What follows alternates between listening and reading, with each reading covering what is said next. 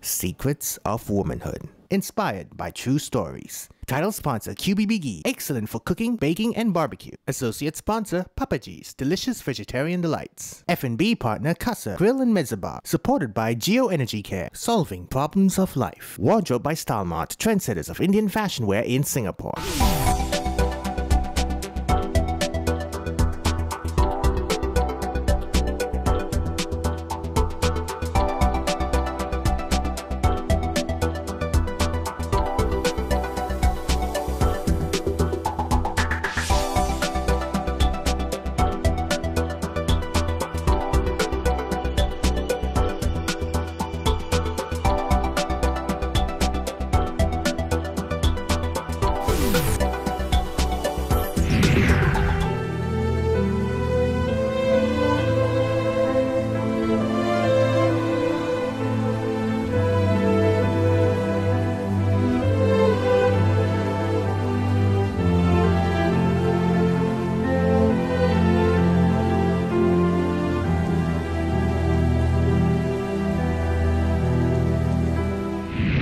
We are God's perfect creations, yet we're often judged for the way the Lord above made us.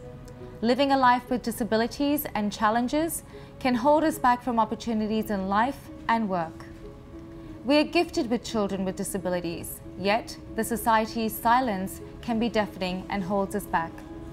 Today we have with us four amazing guests and inspirational guests who are going to share with us how they overcame their challenges. Please join me in welcoming Shilpa. Hi Shilpa. Hi, Shan. Thank you. Shilpa was affected with Bell palsy in the midst of her life, resulting in paralysis of her face. She shares her story with us and also how blessed she has been to have a great support system, her family and friends. Our next guest is Michelle. Hi Michelle. Hi, thank you for having me. Michelle was born with one arm, yet she defied that and now she is a teacher, has a driving license and even engages in scuba diving. Next guest is Vijay. Hi Vijay.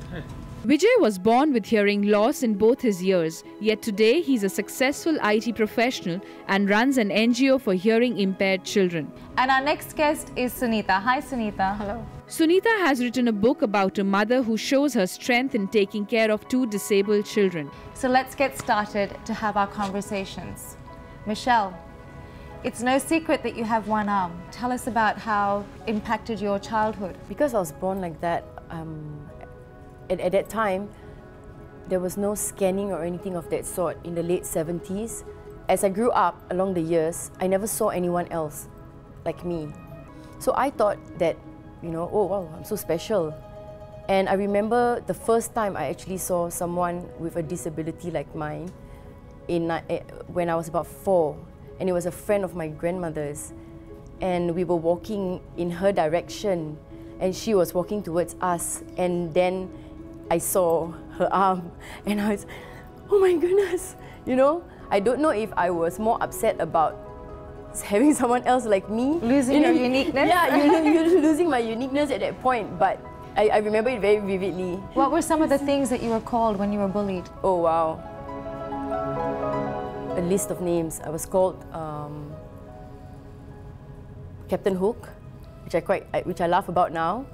Um, I was called Chachat, which is in, in, a, in a dialect means disabled in a very rude way. Living with disability, we get to that stage of defying it, and, and we know that this is not going to hold us back. And speaking with you today, you're full of that zest. Thank you. But was there ever a moment in your life when it was really hard, really low, and it really was, was the most painful part of your life? You know, there are many times where you would, um, um, you know, I make it look easy, but it's not as easy as, as I make it look.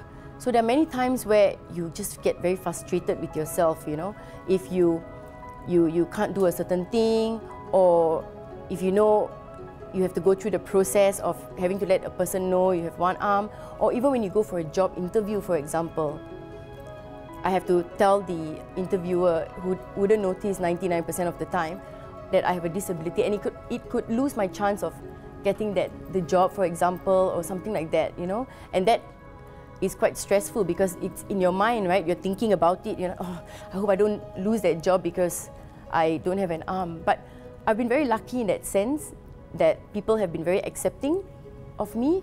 But you know, I think it's human nature as well. So, Sunita, you've written the book from a mother's perspective. How was the experience in the book and in terms of the amazing courage that we have here? Courage is a great word that you've used, Shan. Um, a woman, a mother, uh, plays a very important role in a special needs child's life. And as Michelle was saying, um, it, it, it's always the mother who plays, because she's there, she's like a punching bag, and she's always there for the child. And it's important that the mother keeps the child afloat and um, doesn't indulge or overindulge a child because at the end of the day she has to bring the child to the point where the child or the children are going to be able to face the world. Let's take a short break on that note and then come back with QBB Presents Secrets of Womanhood. QBB presents Secrets of Womanhood, inspired by true stories. I love coming for dinners at your place. Oh, really? Why? What why? Don't you know we love the food you serve? It tastes great. The taste is excellent. Well, the secret to my recipe is QBB ghee. But isn't ghee fattening? Oh, it's good fat. In fact, two spoons of QBB pure ghee on a daily basis gives you all the nourishment for good skin, body and joints. QBB Pure Ghee is trusted over many generations. QBB presents Secrets of Womanhood, inspired by true stories. Welcome back to QBB Presents Secrets of Womanhood, and let's continue our conversation with our very inspiring guests for today. Facial yeah. paralysis due to Bell palsy yeah. in the midst of your life. Yeah. How was that? Um, what was the experience like? I think a very random uh, episode in my life, which were which came up just after I came back from a yoga class totally, I was not sick, I was not unwell, I was not uh, in any bad shape. Just sipping a glass of water, I realized that I was not able to drink the water at all and it kept spurting out of my mouth. And for a, for a certain time, you're not able to understand what's happening and then you realize your face is curling, your, uh, your lips are kind of not listening to you. And then I had to, you know, actually see my face and I found it's totally dark and it kind of twisted. So when I went to the neurophysician, the first thing he asked me was, did you have any fever or cold?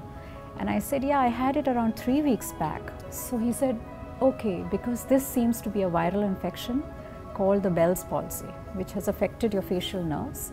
And it's good that you were able to take such a proactive step because uh, within 48 hours, if you don't take treatment, uh, it kind of becomes irreversible.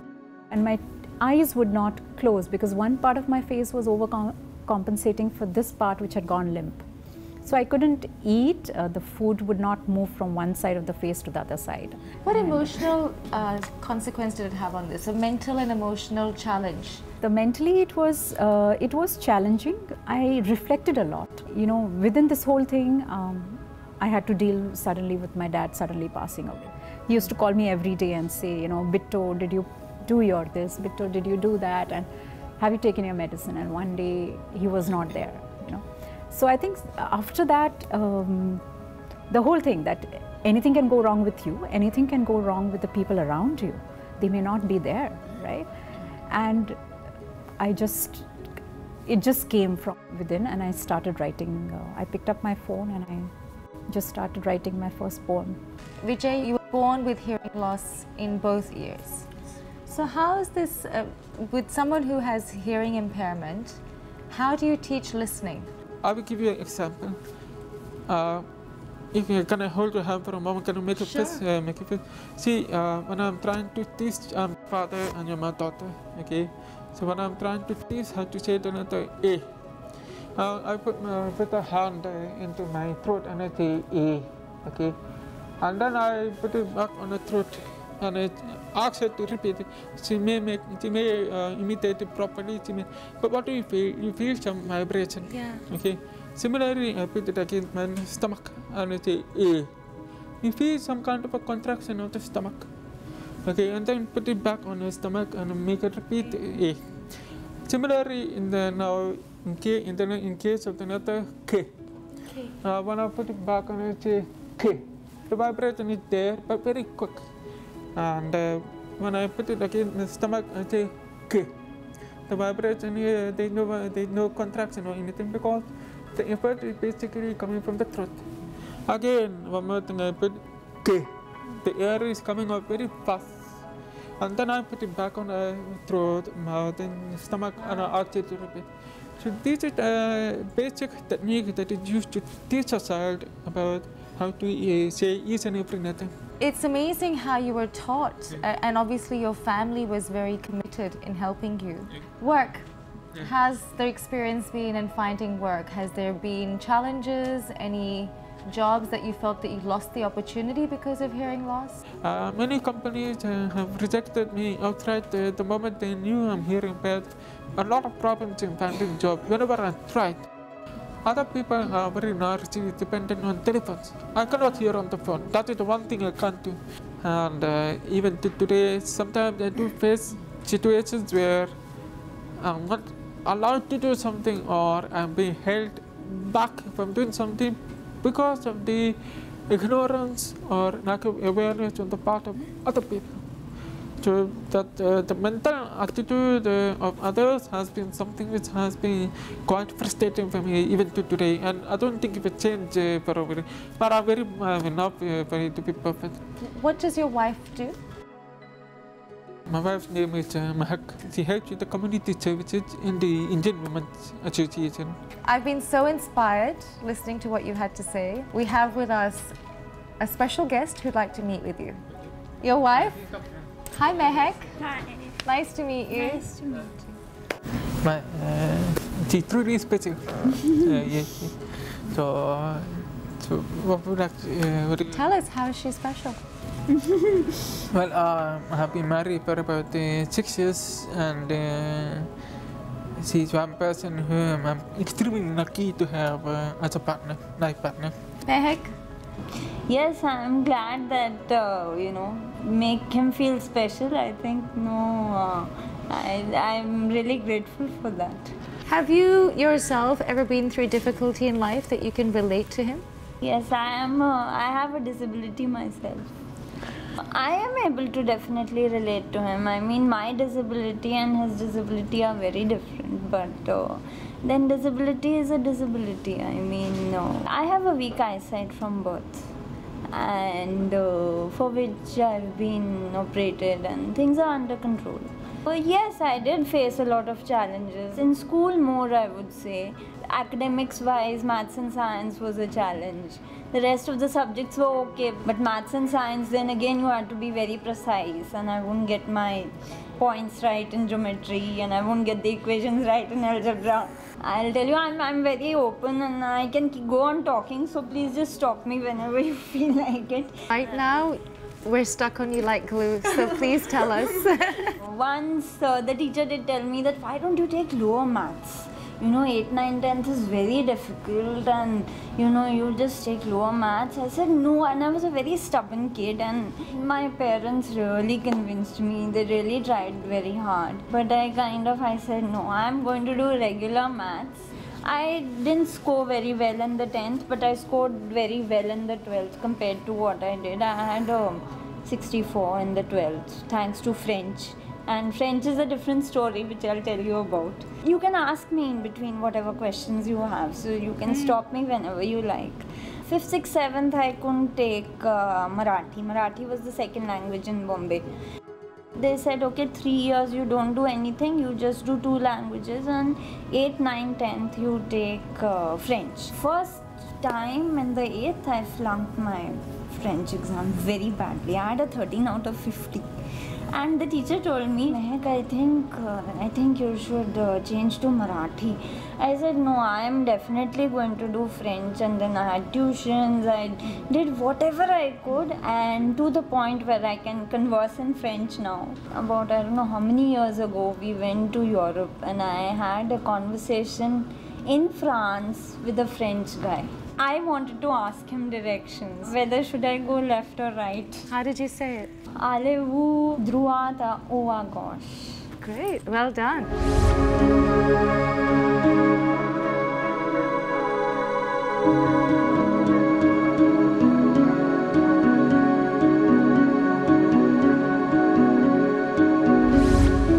QBB presents Secrets of Womanhood, inspired by true stories.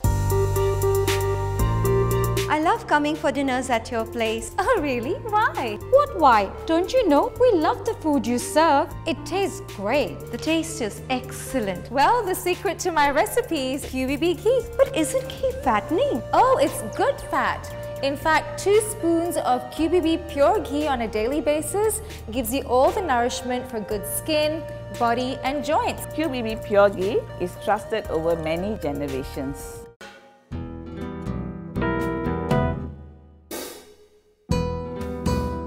Our favorite hair grow back shampoo. Meet the shampoo hero Bio Royale Grow Back Shampoo. Daily use natural shampoo that can be effective for everyone. Bio Royale Grow Back Shampoo helps in the following ways. This is a secret that you'll want to keep. QBB presents Secrets of Womanhood, inspired by true stories. Welcome to QBB Presents Secrets of Womanhood. It's our special show on people with special needs. And now it's time for the secret recipe with our celebrity chef, Chef Devagi Shanmugam. Welcome. Hello, how are you? Very good. What are we doing today? Yeah, I'm going to do something simple. Okay. So it's basically lime and coriander chicken on a bed of couscous. Lovely. Well, we have Michelle with us today, who actually was born with just one arm. So hopefully this is so simple that we could do it with one hand. I think it's possible. Oh, let's do it. Let's Okay. go for it. Only one hand. Only one hand. We're going to do that. We're going to try Shall I that. try? Yes. Okay, so I need mayonnaise for this. Okay. Three tablespoons of mayonnaise. Some melted ghee. Some lime juice. And then I have some coriander leaves. Sugar. Okay. Salt. A bit of pepper. I'm going to just mix all this. No, don't hold me. Let me see. Okay.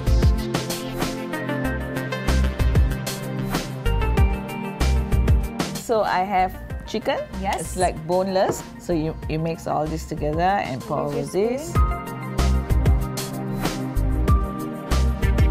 Okay, so I am trying to use a glove. I can't use. So let me see if I can just skewer this. Sure. There we go. We have one skewer ready. Yeah. We just have to skewer this, put it onto a baking tray, and then bake it for about 25 minutes or until it's slightly, it will not turn golden brown because there's mayonnaise, right? So mm. it will be a bit pale, but slightly burnt texture is fine. Um, and then you just serve it on a bed of like um, couscous. Lovely. So Chef Devagi, that is amazing. I, you, you have just proven to all of our viewers that even if catastrophe strikes you, instantaneously you can have that attitude of, I can do it. Yeah, you have to be just positive all the while. Everything Yeah? is possible, Okay, right? so now the next dish is the couscous dish. Let's do it. So now we have the ingredients for the couscous. Some olives, sun-dried tomatoes, and then I have avocado. This is at the time, at the point when we are serving, we can throw some there because um, it gives a nice uh, texture. And um, some salad leaves if you need some salad by your chicken. Yeah, I boil some vegetable uh, stock. Okay. You can do it in the form of a cube or vegetables. Now, if you're can smell the celery in there. Yes. And if you are a non-vegetarian, of course, you can use uh, chicken stock or Right. meat stock. So it's celery, carrot, and Right. onions, and Okay, lovely. add a bit of salt. What's the ratio of stock to couscous that you've used? Um, okay, for 400 grams, you can add about um, maybe 750 or 500. Okay. Add a bit of ghee. Now, we need ghee in this because we want the couscous to stay separate and Okay. whole when it's when we have completed um, Right. it, right? so Hmm, now we just close it for Okay, about five minutes. Let it sit. So I close it because we want the steam Yes. to build it up inside, and then wait for five minutes, and then we'll be done. Great. So after five minutes, I just fluff it up with a fork. Wow, the stock has left some nice colorful greenery on the couscous. Yes. And um, I'm now going to add in the Sun-dried tomatoes, the olives, and mix it through. So this is done. I just need to serve it up. Serve it up. Um, put chicken. Lovely. My skewer. And The then some nice greenery on top with Yeah. the avocado. And again, and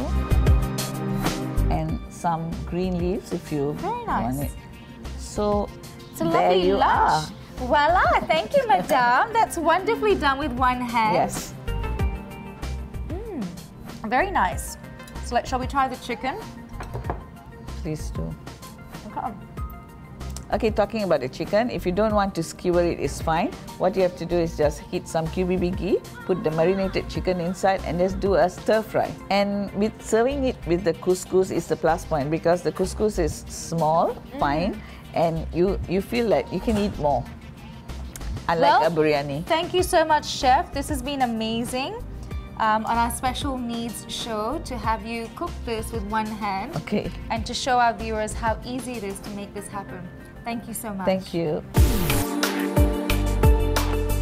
Let's do our rapid fire round. Are you ready? Yes? If God tells you that you can deposit some body fat on a part of your body, what part would that be? Maybe some good uh, fat on cheekbones to make them more prominent. Nice. Michelle, if someone said that they've never been attracted to another man or a woman other than their spouse, they are? Lying. Mehek. If uh, you could write your own story, what would the title of that book be? The Contented Soul. Nice. Vijay, your best friend tells you to come and meet his girlfriend. When you go there, you realize that this girlfriend of your best friend is your girlfriend too. What do you do? Okay, I will tell the girl you have two choices. Uh, either be with me or I find a new girlfriend. Oh, okay. Sunita, what do you think attracts men the most? Nail polish, perfume, eye makeup, lipstick, lingerie, or something else? Eye makeup, I think. hmm Let's see now. I have to choose a winner. The QBB gift hamper goes to Mehek. Thank you. I'm not going to send you guys uh, empty-handed. I have some Papa G's gift hampers for you all. I hope you enjoyed being on Secrets of Womanhood today. We thoroughly enjoyed having your insights and your sharing. Thank you so much. Thank you for being with us today on QBB Presents Secrets of Womanhood. Secrets of Womanhood, inspired by true stories. Today on Secrets of Womanhood, we spoke about disabilities. No life is perfect, but with a change in our mindset, we can have a life full of endless possibilities. It's our responsibility as media, society, employers, schools, and fellow human beings to raise our voices to support a quality and fulfilling life regardless of challenges. Till next time, may peace, happiness, and success be with you.